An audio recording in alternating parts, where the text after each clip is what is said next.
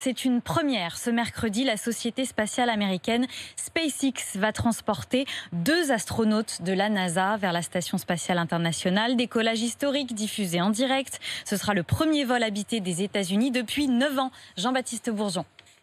À quelques heures du compte à rebours, l'astronaute Bob Benken est focalisé sur sa mission. On parlera de notre place dans l'histoire une fois la mission accomplie. Avant cela, nous devons faire décoller cette fusée.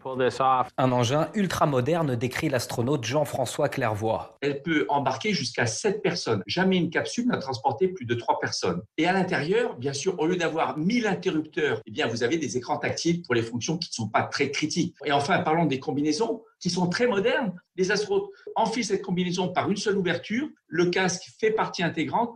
Donc c'est une combinaison qui est soumise à moins de risques de panne. Depuis 9 ans, les États-Unis dépendaient de la Russie pour les vols habités vers la Station spatiale internationale, une époque révolue, estime le président du Centre d'études spatiales, Jean-Yves Le Gall. Les États-Unis devaient envoyer leurs cosmonautes à Baïkonour, au Kazakhstan, et ont monté sur la station avec un Soyuz russe. Donc ils sont très très contents de pouvoir relancer des astronautes américains à partir du sol américain de la Floride. Si le lancement est réussi, SpaceX sera la première société privée à transporter des astronautes dans l'espace.